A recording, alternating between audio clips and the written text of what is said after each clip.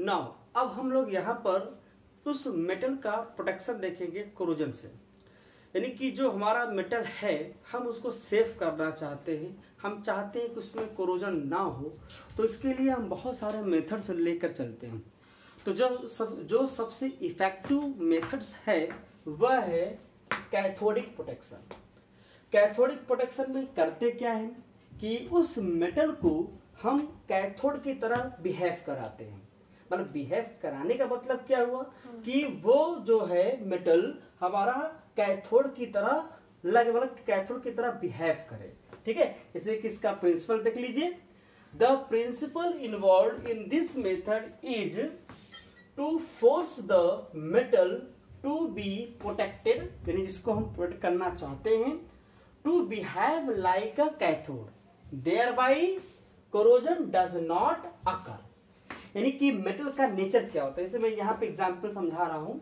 जैसे मेटल का नेचर क्या होता है? उसका नेचर होता है ऑक्सीडेशन रिएक्शन का। यानी कि वो एनोडिक नेचर का होता है। जैसे आयरन है एफी तो ये तभी कोरोजन होगा जब इसमें कौन सा रिएक्शन होगा? इसमें रिएक्शन होगा ऑक्सीडेशन ठीक है? अगर इसी ऑक्सीडेशन रिएक्शन को हम रोक दें, अगर ये ऑक्सीडेशन रिएक्शन ना करे, यानी कि जो H प्लस आयन है, ये H प्लस आयन इस मेटल यानी कि आयरन मेटल से इलेक्ट्रॉन ना लेकर किसी दूसरे सोर्स से अगर इलेक्ट्रॉन लेता है तो इस टाइप का प्रोडक्शन हो जाएगा। यानी कि यहाँ पर इलेक्ट्रॉन का सोर्स कोई दूसरा है। जैसे कि अब यहाँ पर हमने इलेक्ट्रॉन उसको प्रोवाइड किया एफी को, और एफी ने अप्लाई फिर ये इसी एफी ने इलेक्ट्रॉन किसको प्रोवाइड किया? यहीं से डायरेक्ट किसको प्रोवाइड किया? एच प्लस को। यानी कि आयरन का खुद ऑक्सीडेशन नहीं हो रहा है। यानी इसका मतलब वो पूरा का पूरा मेटल जो हमारा ऑक्सीडेशन रिएक्शन शो कर रहा था, जो हमारा एनोड था, अब वो कैसा बिहेव करेगा? कैथोड की तरह। तो इसी टाइप के यहाँ पे हम लोग प्रोडक्शन यहाँ पे देखते हैं। तो इसी में इसी के टू टाइप्स होते हैं, इस टाइप के प्रोडक्शन के। इस टाइप के प्रोडक्शन के टू टाइप हैं। जो पहला टाइप आपको दिख रहा है sacrificial anodic protection method sacrificial anodic protection methods में होता क्या है? इसको ऐसे समझिए। जैसे एक क्लास में दो दोस्त हैं, राम और श्याम, ठीक है? अब राम ने गलती किया तो हमने राम को उठाया और उसको पनिशमेंट दिया। जब हम उसको पनिश कर रहे थे तो उसी समय श्याम उठ गया। उसने कहा कि, सर, इसके बदले में आप मुझको पनिश करिए। राम को छोड़ दीजिए। तो इसमें श्याम का क्या रोल हुआ? श्याम ने राम के लिए सेक्रीफाइस किया। यानी कि श्याम ने राम के, राम को सेव करने के लिए खुद आगे आया और वो खुद दंडित हो गया। मतलब पनिशमेंट श्याम को मिल गई। ठीक वैसे ही जैसे श्याम ने खुद सेक्रीफाइस किया राम के लिए, ठीक वैसे ही यहाँ पर सेक्रीफिशियल एनोडिक प्रोटेक्शन में होगा। इसमें करते क्या है? इसमें जिस मेटल को हमें सेफ़ करना होता है, या जिस मेटल को कोरोजन से रोकना होता है, हम उससे ज़्यादा कोई एनोडिक कोई मेटल इसके साथ कनेक्ट कर देंगे। यानी कि इससे ज़्यादा कोई एनोडिक जब इसे कनेक्ट कर देंगे, जोड़ देंगे तो जो मोर एनोडिक होगा, वो उसका उसका पहले ऑक्सीडेशन होगा। और उसके ऑक्सीडेशन से जो इलेक्ट्रॉन आएगा, वो इस मेटल के थ्रू क्या है? एसिडिक मीडियम यानी H प्लस के पास चला जाएगा। तो यानी कि जो इलेक्ट्रॉन आ रहा है, वो मोर एनोडिक से आ रहा है। ये मेटल से नहीं आ रहा है, जिससे ये मेटल हमारा क्या हो जाएगा? सेफ़ हो जाएगा। देखिए, इसका प्रिंसिपल क्या है? In this protection method in this protection method the metallic structure to be protected, यानी जिसको हम प्रोटेक्ट करना चाहते हैं। Is connected by a wire connect करेंगे वायर के थ्रू तार के through connected by a wire to a more anodic metal यानी किसी मोर एनोडिक मेटल के साथ हम उसको कनेक्ट करेंगे। जैसे एग्जांपल यहाँ पे लिख दे रहा हूँ, यहाँ जैसे मैग्नीशियम हो गया। जैसे magnesium magnesium is more active मतलब मोर मोर एनोडिक मेटल्स साफ़ नहीं आ रहा है तो चलो उसको हम मोर एनोडिक, ठीक है, more anodic metal so that all the corrosion is concentrated at this more active metal यानी जितना जितना जितना कोरोजन होगा, यानी कि वो कहा होगा? मोर एक्टिव मेटल में होगा। The more active metal itself get corroded slowly while the while the parent structure यानी कि जो हमारा प्रोटेक्ट करना है जिस मेटल को पेरेंट स्ट्रक्चर यानी कैथोडिक इज़ प्रोटेक्टेड देखो, इस टाइप का प्रोटेक्शन के लिए जो पाइपलाइन होती है हमारी, कई सैकड़ों किलोमीटर लंबी होती है आयरन की पाइपलाइन होती है, उस पाइपलाइन को प्रोडक्शन उस लाइन उस पाइपलाइन का प्रोडक्शन करने के लिए इस टाइप का मेथड हम लोग लेके चलते हैं। जैसे एग्जांपल देखिए, जैसे ये अंडरग्राउंड पाइप है ये।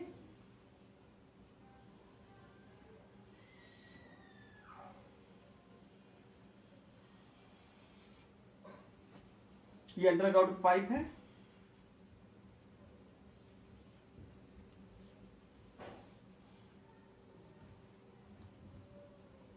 Iron pipe iron pipe. ठीक है? अब इस पाइप के साथ हमने क्या किया? एक वायर के थ्रू एक्टिव मेटल, जैसे मैग्नीशियम को हमने इसके साथ जोड़ दिया। मैग्नीशियम। ठीक है? तो ये आपका वायर हो गया और ये मैग्नीशियम मेटल हो गया। यानी कि magnesium metal is a more anodic. कैसा है ये? मोर एनोडिक है। एनोडिक। अच्छा मोर एनोडिक है तो इसका मतलब इसका ऑक्सीडेशन रिएक्शन आयरन के कंपेरिजन में ज़्यादा होगा। यानी कि आयरन का जो आयरन पाइप है, इसका ऑक्सीडेशन होने से पहले मैग्नीशियम का ऑक्सीडेशन हो जाएगा। तो जब इस मैग्नीशियम का ऑक्सीडेशन होगा तो ये इलेक्ट्रॉन इस वायर के थ्रू कहा आएँगे? इस आयरन पाइप पर आएँगे।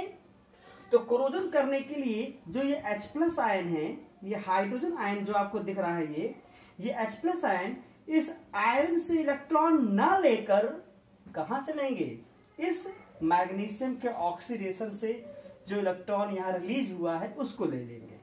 तो ये पूरी पूरी पाइप हमारी सेफ़ रहेगी। इसका मतलब ये हुआ कि मैग्नीशियम मेटल जो कि मोर एनोडिक है, इसको जब हम आयरन पाइप से जोड़ देंगे तो ये आयरन पाइप हमारा कैथोडिक नेचर का हो जाएगा। यानी इसका बिहेव कैसा हो जाएगा? कैथोडिक हो जाएगा। और मोर एनोडिक का जो बिहेवियर है, ये कैसा हो जाएगा? ऑक्सीडेशन नेचर का हो जाएगा मतलब ये ज़्यादा रिएक्ट करेगा। ठीक है? यानी मैग्नीशियम ने अपने आप का बलिदान दिया। मैग्नीशियम ने अपने आप को सेक्रीफाइस किया और इस आयरन पाइप को सेफ़ किया। तो it is a sacrificial anodic protection यानी कि सैक्रिफाइस मतलब इसमें किसी मोर एनोडिक मेटल ने क्या किया? सैक्रिफाइस किया। और जिससे कि आपका जिस मेटल को हमें प्रोटेक्ट करना है, जिस मेटल को हमें बचाना है, हम उसको क्या करते हैं? सेफ़ करते हैं। तो इस तरह का हो गया सैक्रिफिशियल एनोडिक प्रोटेक्शन ठीक है? ये फिगर आप लोग को ड्रॉ करना है। ये मैंने पूरा लिखा हुआ है। आप इसको लिख सकते हैं और ये फिगर आप ड्रॉ कर सकते हैं। नेक्स्ट है impressed current cathodic protection impressed current cathodic protection में क्या होगा? यहाँ पर भी जिस मेटल को हमें सेफ़ करना है, हमें उसे कैसा बिहेव कराना है? कैथोडिक यानी कि जो इलेक्ट्रॉन जिस मेटल से, जिस मेटल को हमें सेव करना है, कि उससे इलेक्ट्रॉन न निकलकर किसी दूसरे सोर्स से इलेक्ट्रॉन आए। ठीक है? तो इम्प्रेस्ड करंट कैथोडिक प्रोटेक्शन में हम लोग यहाँ पर बैटरी का यूज़ करते हैं सेल का यूज़ करते हैं उस मेटल को बचाने के लिए। इसे यहाँ देखिए इसका principle in this method and impressed current is applied in opposite direction to nullify the corrosion current यानी कि उस corrosion current को हम क्या करेंगे? हटाने के लिए। And convert the corroding metal from anode to cathode. यानी कि जो मेटल हमारा इलेक्ट्रॉन दे रहा है, ठीक है, जिसकी इलेक्ट्रॉन देने मतलब ऑक्सीडेशन रिएक्शन की वजह से जिसका कोरोजन हो रहा है, हम उसको खत्म करेंगे, उसको नलीफाई करेंगे। थ्रू किसके? किसी दूसरे मतलब कि सोर्स से, जैसे यहाँ पर हम बैटरी यूज़ करेंगे, ठीक है? उस पर अप्लाई करेंगे। तो उस पर बैटरी का करंट अप्लाई करेंगे, जिससे कि वहाँ पर वो मेटल एनोड से क्या बन जाए? कैथोड बन जाए। तो इसका एग्ज़ाम्पल मैं यहाँ बता दे रहा हूँ। इसका एग्ज़ाम्पल यहाँ आप देख लीजिए। इसका एग्ज़ाम्पल, जैसे ये इसका एग्ज़ाम्पल था। इसका एग्ज़ाम्पल आप यहाँ पे देख सकते हैं। जैसे कि ये आपका बैटरी हो गई।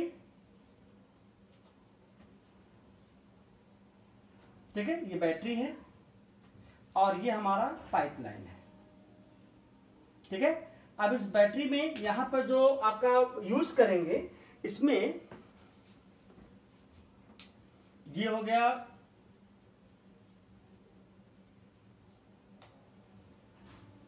ये इस तरह से। ये हो गया ये आयरन आयरन पाइप और ये हो गया बैटरी।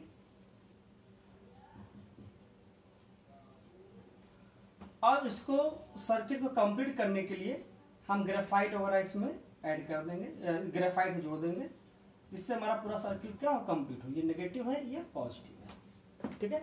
तो बैटरी का नेगेटिव पार्ट का मतलब क्या हुआ? इलेक्ट्रॉन डेंसिटी यहाँ ज़्यादा है।